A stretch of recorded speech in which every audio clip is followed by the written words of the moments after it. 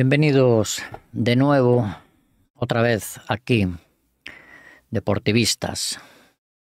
Vamos a escuchar al, al entrenador del Fabril, Oscar Gil Sanz, ¿no? Por cierto, eh, es un pedazo de entrenador y, y en fin, eh, me atrevería a decir que, que, que por méritos propios, eh, como premio, debería de estar este hombre en, a los mandos del Deportivo, ¿no? En el primer equipo. Por méritos propios, ¿eh? por haber ascendido al Fabril, ¿no? Pero bueno, ya sabemos cómo funciona, ya sabemos cómo funciona la maquinaria de la, de la propiedad, ¿no? da, da Radio Galega. Bueno, que sensacións eh, tes de cara a este a este novo novo curso? Acaba de comezar a, a pretemporada, eh, nova categoría, ilusionante. Contanos un poquinho que, teu pálpito. Eh, hay que agradecerle muy mucho el trabajo que hizo en el Fabril la temporada pasada y la y, bueno el, trabajo que está haciendo eh, maravilloso eh, a los mandos del, del Fabril, ¿no? Para mí es un pedazo de entrenador, sabe de fútbol y, y sabe gestionar un, grupo. ¿eh? Y entonces, pues, habría que había que darle ese premio al cual yo hacía referencia hace un, un par de minutos, ¿no? Pero vamos a escuchar al bueno de Oscar Gil Sanz. A ver qué es lo que nos cuenta. Bueno, buenos días eh, a todos. Eh... Bueno, a verdad que cando se empeza unha nova tempada sempre se empeza con, bueno, pues un alto grado de ilusión, eh, máis, bueno, pues neste caso que, que hai un cambio de categoría, co que eso supón de novidades en canto a, bueno, tanto a rivais como a contexto de, de xogo e, e a ese reto tamén para todos, para, para min como adestrador e para os xogadores no seu crecimento pois, eh, individual, pois tamén, evidentemente, sobre todo, é un, un reto que, que queremos asumir. Bueno, e como, como son as, eh, como chegaron os rapaces, eh, os eh, novos xogadores que tamén eh, fichachedes que viñeron de, de, de abaixo, como vedes os, os novos? Bueno, ben, ben, a xente, os rapaces eh, realmente se chegan moi moi ben físicamente e, eh, e eh, sobre todo pues, con esa ilusión de, de, de empezar de novo e de bueno, pues, empezar outro eh, outro ano máis e, e a ilusión pues, evidentemente o que o que bueno, pues, máis se, se ve estos días, non? Sí, ¿qué tal? Oscar, Oscar Martínez de Radio Marca. ¿Nos podrías presentar un poquito a los nuevos, eh, darnos un poco sus características? Bueno, eh, de los tres fichajes que, que hay hasta ahora, eh, Álvaro Santamaría es un lateral de, largo recorrido, un chico muy joven eh, eh, y que viene para un poco para reforzar esa, esa posición. Fernando Somolinos pues es un, un central también muy joven, con buena serie de balón y muy buen juego aéreo. y Eh, eh, Matías, eh, Matías Castillo eh, pues, eh, es un, un, bueno, pues un extremo delantero centro pues, eh, eh con mucha capacidad para hacer gol, muy dinámico, con, con velocidad bueno, y que trataremos que entre todos pues, rápidamente se, bueno, pues, se adapten al, tanto al, al equipo como como a la ciudad, evidentemente, y nos aporten pues todo lo que, lo que son capaces de hacer. ¿no? Se sorteaba ayer el calendario, empezáis fuera, acabáis fuera, no sé si es un poco la concepción que te hubiese gustado o al final hay que jugar contra todos.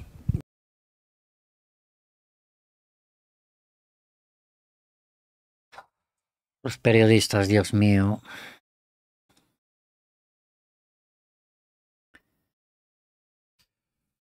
Mi madriña. Qué penoso. Qué, preguntas, qué pregunta más de parvulario, hombre. Una pregunta de parvulario, hombre. Una pregunta de parvulario de, de periodismo, hombre. Yo, yo estoy plenamente convencido de que, porque para ir ahí, hacer ese, ese tipo de preguntas y ganarse un sueldo, pues me parece a mí que lo hace cualquiera, lo hace un, lo hace un chaval de 15 años. Uno que esté estudiando periodismo, mm, eh, los, los becarios pueden ir ahí y para hacer ese, ese tipo de preguntas tan, tan absurdas. Si empieza fuera y si acaba fuera. La misma pregunta al revés que le hicieron a, al, al muchacho en el, del bueno del vídeo anterior. ¿eh? Al, al, en fin. En fin. en- fatal. hay cada periodista más, más poco profesional. Dios mío. Bueno, yo creo que teníamos muchas ganas de, estar en esta categoría. En esta categoría, cuando vemos el calendario, vemos que todos los rivales van a ser eh, importantes, difíciles y, complicados y no solo prestar mucha atención al orden del, del calendario, sí que ya, bueno, evidentemente le hemos echado un, eh, un vistazo para saber sobre todo las primeras jornadas, bueno, pues con quién tenemos que, enfrentarnos y a quién tenemos que ver antes de empezar la, eh, la liga. Y, bueno, yo creo que empezamos en, en Avilés contra un rival eh, pues que es el, mejor equipo del año pasado que no ascendió, con lo cual, eh, bueno, pues partido difícil, pero repito, lo que la ilusión y el reto por, eh, por eh, eh, mejorar y por mm, que- porque los jugadores cada día sean mejores, creo que, que, bueno, debemos de, de verlo desde ese, desde ese punto de vista. Hay varios jugadores tuyos que están trabajando con el, con el primer equipo, ¿no? El caso de Bryce, el caso de Jairo, incluso Álvaro, ¿no? Eh, y luego hay tres nombres que marca el club que va a estar en dinámica de primer equipo todo el verano. Martín Ochoa, Diego, David Mella. No sé si te han dicho que vas a poder echar mano de ellos en, en algún momento, si la previsión es que estén con, con Emanuel Idiáquez. Bueno, creo que eso es norma habitual en, en casi cualquier equipo profesional, ¿no? Que haya Claro. jugadores eh, eh, de cantera en dinámica de primer equipo, eh, incluso que, que puedan alternar eh, para, para, bueno, pues para que el míster eh, vea a Eh, bueno, en ese sentido el trabajo es normal, la dinámica habitual y bueno, pues eh, eh, estamos como filial para, para ayudar y para aportar en ese, en ese sentido y muy contentos de que así sea porque creo que también eso nos revaloriza al, al- al filial como, como equipo, ¿no? Claro. Pero estará, estará usted de acuerdo con, conmigo en que mm, en que en estos mm, últimos tiempos en el deportivo, pues mucha mano de cantera no han tirado. Es, es cierto que se van, ya se van, en, en, en fin, mm, ya nos los llevan de, de- del Fabril, ¿no? También porque sale alguno bueno y tal, como el caso de Trilli, el caso de Noel. Menos mal, menos mal que mm, amarramos un poquito a Jeremai. Menos mal. Pero estará usted de acuerdo conmigo que, que- mm, en dinámica de, de- primer equipo mm, no hay mucho. No hay mucho. A las pruebas me remito. A las pruebas me, remit- eh, me remito. Eh, mm, mercado de, de invierno, boom, se traen tres, cuatro jugadores. Pero no echamos mano de la cantera. ¿eh? No hay mucho, no hay mucho, mucha dinámica de, de- de primer equipo. ¿eh? Lo que pasa que, que, en fin, en fin, y lo que, y lo, y la dinámica de primer equipo, que salen dos minutos, tres minutos, así no se forma un jugador. El jugador hay que ponerlo si el jugador vale y el jugador tiene, tiene capacidad para... eh, en fin, claro que no tiene experiencia. Claro que no tiene experiencia en, una categoría superior. Pero si no le damos la oportunidad para que adquiera esa experiencia, mal asunto. Claro, llega el Barcelona, se lleva a Trilli. Llega el, Real Madrid, se lleva Noel. Y así, y, podría citar eh, muchos, ¿no? Esa es la diferencia que nosotros tenemos que aprovechar lo que tenemos, tenemos que amarrar lo que tenemos. Ponemos una cláusula importante a los jugadores, se llega a un acuerdo con los, con los jugadores y, eh, eh, y sus padres para que el chico... eh, y se le ofrece, en fin, una cantidad... eh, pero, y si viene un Barcelona, un Madrid, un, un Atlético de Madrid, cualquier equipo del mundo, y que pague la cláusula correspondiente, que dé mucho dinero, para que no te lo lleven. ¿eh? Porque 200.000 euros es una migaja para el Madrid, para el Barcelona, para el Atlético de Madrid, para cualquier equipo. ¿eh? pongan, que pongan unas cláusulas importantes de millones de euros y ya se lo piensan. ¿eh? Y, ya el que se quiere que ponga los milloncitos de euros, llegas a un acuerdo con el muchacho y los papás del, muchacho y, se arregla. Pero, pero hay que hacerlo. Y no se hace. Por eso los jugadores, y además aquí no le damos la salida, no le damos primer equipo. ¿eh? Y, el, y, el, y el muchacho, el entrenador, mm, como fue el caso de Rubén de la Barrera, cuando pone a Jeremai, cuando pone a gente de la casa, ¿eh? lo echan a los tres partidos, le dan la carta de despido y adiós muy buenas. En fin, mucha dinámica, mucha dinámica de primer equipo no hay. ¿eh? Y usted, y usted, y usted lo sabe. Y, gracias que, que, tenemos, que lo tenemos a usted ahí, en el Fabril. Si no, si no hasta luego, Lucas. ¿eh? Si no, ¿qué sería del Fabril? ¿Eh? Lo que pasa es que usted es un pedazo de entrenador maravilloso, trabajador, valiente, y, ahí es donde se demuestran y, donde se demuestra la capacidad de su trabajo, ascendiendo, ¿eh? haciendo de los muchachos mejores, mejores, en fin, profesionales. ¿eh?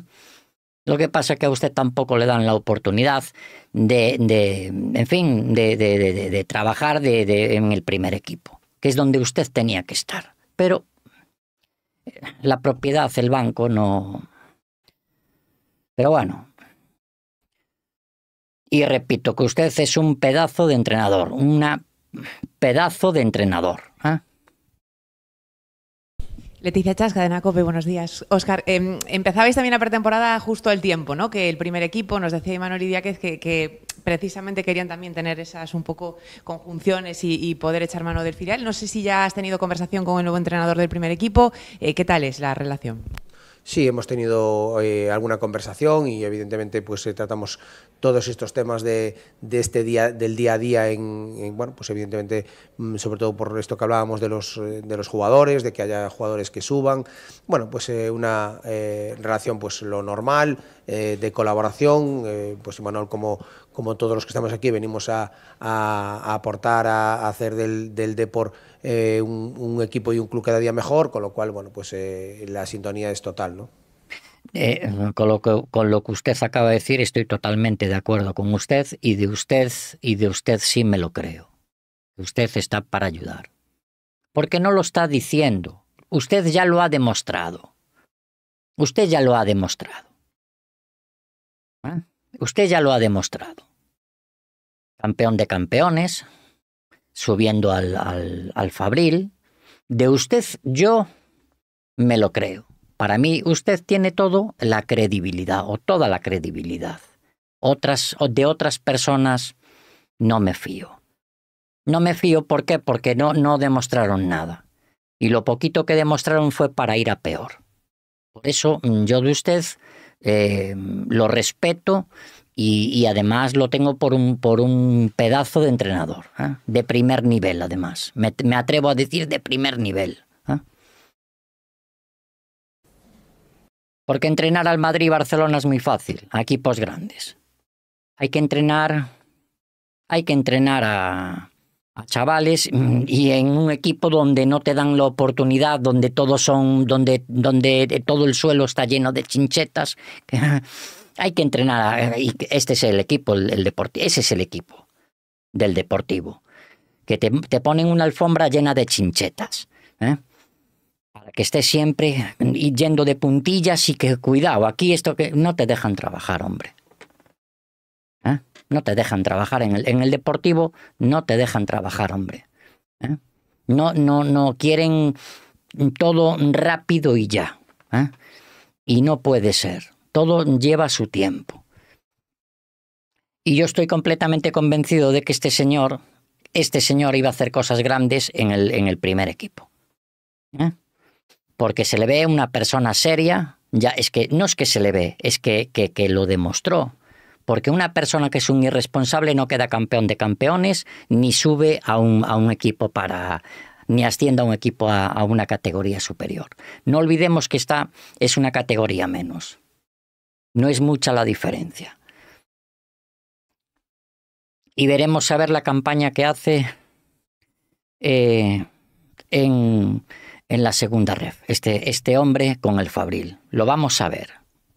Veremos a ver dónde, dónde en el puesto que queda. Yo me atrevo a decir que quedará eh, en los puestos de por arriba, porque es un pedazo de profesional, porque sabe de fútbol.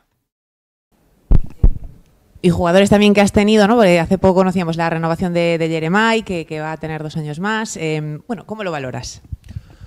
Bueno, yo creo que esto es eh, bueno, un poco la dinámica normal, como decía, de, un club como el Depor, ¿no? donde haya jugadores pues, que, bueno, pues por su progresión, por su mejora individual y por su cada vez mayor aportación, pues, eh, bueno, pues tengan esas mejoras de contrato. Creo que es eh, bueno, pues, para felicitarnos a todos, a, todo el mundo que trabaja aquí en Abegondo, que cada vez que un jugador de la cantera y que lleva años aquí pues, tiene un nuevo contrato, pues eh, bueno, yo creo que es bueno para, para todos y bueno, en ese en ese camino pues es en el que estamos todos.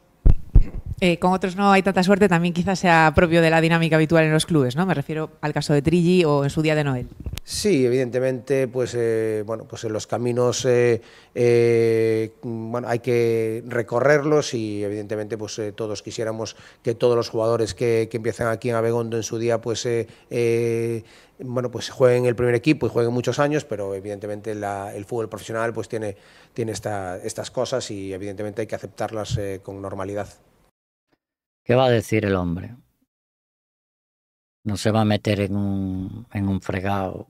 Pero este hombre, este hombre sabe que no les dan lo, no, es que estoy plenamente convencido que, que no les dan oportunidad, el primer equipo no les da a los jugadores de la cantera la oportunidad. Pero está hablando ahora políticamente correcto. ¿Qué va a decir? ¿Se va a meter en un, en un incendio? ¿Qué va a decir el hombre? Y, quería preguntarte por el caso de David Mella, ¿no? Siendo juvenil, debutaba con el primer equipo ya, eh, también ha tenido una renovación.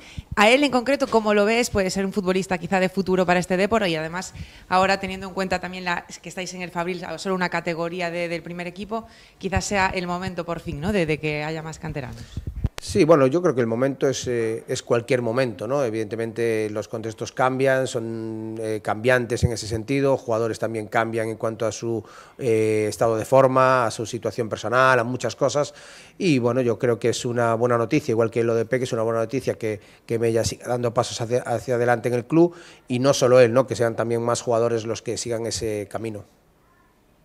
Sí, Óscar, perdona que nos faltaba una muy genérica y muy global, ¿no? Al final, objetivo del filial siempre es formación, pero objetivo a nivel de competición, ¿cuál, cuál os marcáis o cuál os marca el club?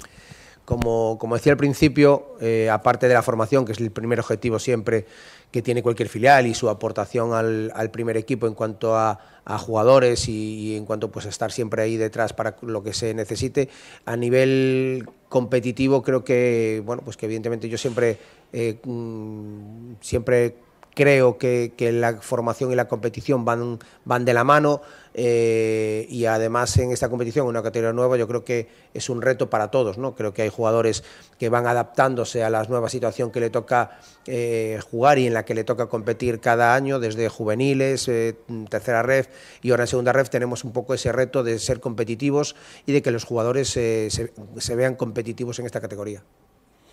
Correcto. Correctísimo. Óscar, un pouco inicialmente que salvar a categoría ou acabar bueno, evidentemente calquera equipo que acabará o máis arriba posible, non? Pero un pouco como ao ser nova nova categoría para o Fabril, inicialmente eh, a permanencia. Inicialmente eh, a estas alturas no día Son preguntas son preguntas de parvulario. Esta pregunta que le acaba de formular, otro, otra, otra pregunta de parvulario. Los nenes preguntan al, a Óscar Gil Sanz, entrenador del Fabril, preguntas de, de parvulario. Veremos la, la, la, contestación, la respuesta. 21 de, de, de suyo creo que, que que Mm, pretendemos é que o equipo bueno, se vaya formando, non? Eh, non estamos pensando todavía eh, nesa competición, aínda que todo o que facemos vai, vai dirixido a, a chegar a, a ese día 2 ou 3 de, de setembro e eh, ser capaces de, eh, sobre todo, de competir, non? E a partir de aí, eh, creo que ir medrando na categoría, ir medrando no que os xogadores fan, e despois, bueno, pois a, a a, pro, a propia dinámica da competición vai che colocando os teus obxectivos, non? Pero desde o club que o que me transmiten, bueno, ano tras ano, é sempre que a millora constante dos xogadores, esa formación de cara a que poidan aportar no primeiro equipo, e lóxicamente creemos que para iso é moi importante ser capaces de competir, ser capaces eh, bueno, pois de que eh, nesta nova categoría, este novo reto que temos por diante, ser capaces de asumilo, de afrontalo e de salir pois reforzados como equipo e sobre todo como club. Correctísimo. Yo creo que le debió de quedar claro, ¿no? A una pregunta infantil le contestó con una, con una respuesta de madurez. A respuestas infantiles y y gracias que le contestó. Otros, no, niño, aún estamos, aún estamos ¿eh? formándonos todos, ¿no? Nos estamos, estamos planificando, pero bueno. La pregunta es infantiles, ¿en qué puesto, cuál es el objetivo? ¿El objetivo cuál va a ser, hombre? Primero hay que ir paso, mm, paso tras paso. ¿eh? Hay que ir ¿eh? conformando todo y los chavales que vengan, hay que, se tienen que conocer, tienen que, en fin, ir haciendo una preparación, hombre. Y luego, a medida que vaya pasando el, tiempo, pues se va viendo una, una respuesta de, de, una persona que sabe de fútbol a una pregunta de un, de un infantil, de un infantil de periodista. ¿eh? No, no, me no me refiero a título personal. Siempre es, yo hablo siempre eh, a nivel deportivo, no a nivel personal. ¿eh? Que quede claro. Vale, muy bien, gracias. Venga, gracias a todos. Bueno, pues esto fue lo que dio de sí la rueda de prensa de Oscar Gil Sanz. ¿eh? Este hombre, repito, eh, fenómeno, un pedazo de entrenador y, y gracias que lo tenemos en el Fabril. Y gracias que lo tenemos en el Fabril y no nos lo llevaron otro, que no nos lo llevaran otro, otros equipos que están ojo a visor para llevarse lo mejorcito de, de, cada, de cada comunidad, ¿no? de cada equipo. Esto fue todo, queridos deportivistas. Como siempre, Forza de por siempre.